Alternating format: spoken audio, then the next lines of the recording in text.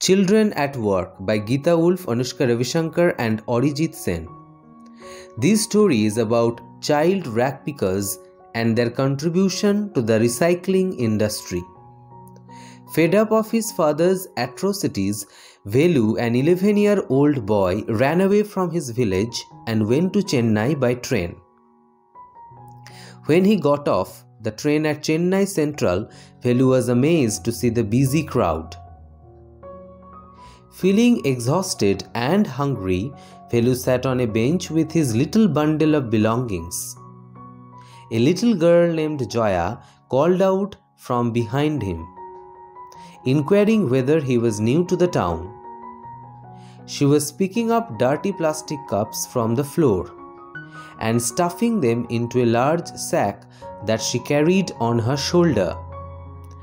When he didn't reply, she told Velu that the place was full of children like him, who had run away from home.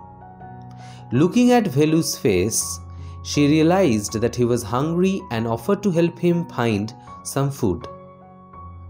Not knowing where to go, Velu followed Joya out of the station and on to a bridge. From the bridge, he saw huge buildings, towers, and a number of roads. After an hour of walking, Velu and Joya reached a big building where a wedding ceremony was in progress. Joya led Velu behind the building to a big garbage bin overflowing with rubbish. She pulled out some leftovers and gave them to Velu. Velu was horrified, but since he was very hungry, he gulped them down. Joya picked a couple of bottles from the garbage, dumped them in her sack, and walked away, saying she had work to do. Velu quickly followed her.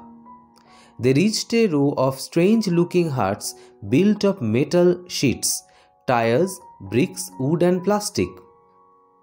Velu thought of the houses in his village, which were made of mud and palm leaves.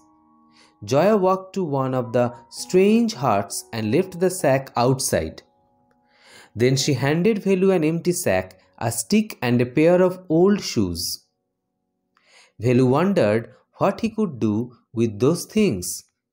Joya told him that the rag pickers in the city collected paper, plastic, and glass from rubbish bins and sold them to a man called Jambajar Jaggu. Velu was puzzled because he had heard of people throwing away rubbish, but he wondered why anyone would want to buy rubbish. Joya told him that Jambajar Jaggu bought the rubbish and sold it to a factory. Velu was shocked. He had not run away and come here to dig through garbage bins.